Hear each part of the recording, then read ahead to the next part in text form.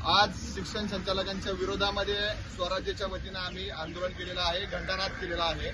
घंटानाद करण्याचं कारण असं होतं की शाळेमध्ये विद्यार्थ्यांना दुपारची सुट्टी झाली शाळा भरली या सगळ्या गोष्टी दाखवण्यासाठी घंटा वाजवली जाते.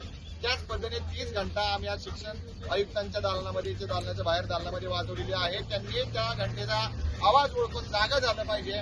आरटीए अंतर्गत जो गोरगरीब विद्यार्थ्यांचा जो अधिकार आहे गोरगरीब मुलांना जे शिक्षण मिळालं पाहिजे वीस टक्के सवलतीमधलं अं, शंभर टक्क्यापैकी वीस टक्के आरटीच्या विद्यार्थ्यांना मिळाले पाहिजे परंतु कुठेही नियम पाळले जात नाही. राज्य सरकारनं देखील त्या आरटीईच्या नियमामध्ये जो बदल केलाय तो देखील स्वराज्याला आणि तमाम नागरिकांना मान्य नाहीये. याच्या विरोधामध्ये आज आम्ही आंदोलन केलेलं आहे. लवकरात लवकर राज्य सरकार असन प्रशासन असन यांनी त्यांच्या नियमामध्ये सुधारणा केली पाहिजे. एक किलोमीटरची जास्त काढ रद्द केली पाहिजे.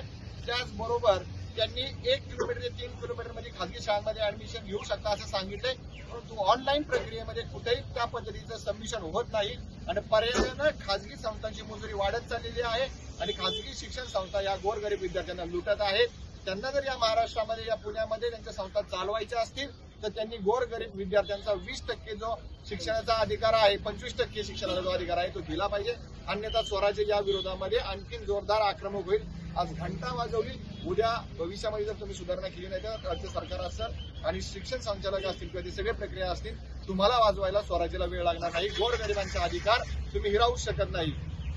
शिक्षण आमच्या हक्काचं. नाही कुणाच्या बापाचं. आरटी आमच्या हक्काचे. नाही कुणाच्या बापाचे.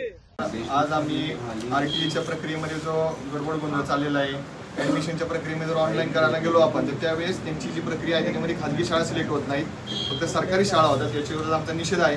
आरटीई मध्ये झालेले जे बदल आहेत ते देखील आम्हाला मान्य नाहीत. एक किलोमीटरचा असेल किंवा बाकीचे सगळे.